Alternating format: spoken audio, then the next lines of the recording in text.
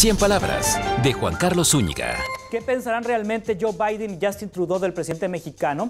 El estilo personal de López Obrador austero, que viaja en aerolíneas comerciales y que no busca los reflectores internacionales, seguro debe causar extrañeza en ambos mandatarios, más con los antecedentes de presidentes mexicanos a los que pareciera que llegaban a este tipo de cumbres doblando las manos. Si bien ha colaborado con el gobierno de Estados Unidos y su política migratoria, tiene en el tema eléctrico una poderosa carta de negociación. Y con Canadá están las concesiones mineras y el litio, pero sin duda la carta más fuerte de negociación que tiene el mandatario mexicano son los 38 millones de connacionales que viven en el otro lado, muchos de ellos con el derecho al voto. Los recibimientos que ha tenido en Estados Unidos dan muestra de que allá también se replica la popularidad que tiene aquí. El presidente habla de hacerle notar a los millones de mexicanos que viven en Estados Unidos sobre las decisiones que tomen demócratas y republicanos para que eventualmente haya consecuencias en las urnas. Se trata de una apuesta interesante.